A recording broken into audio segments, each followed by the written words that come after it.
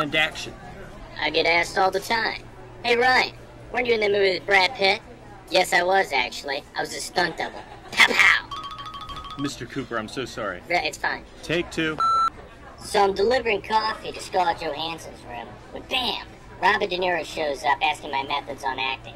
So I told him. Really, man? What kind of ringtone is that anyway? I'm so sorry, so sorry. Take three.